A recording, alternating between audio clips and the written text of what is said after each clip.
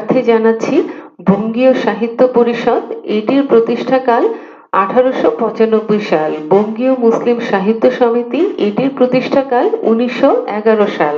বন্ধুরা, আমরা পরবর্তী প্রশ্নে চলে যাই। বঙ্গীয় সাহিত্য পরিষদ থেকে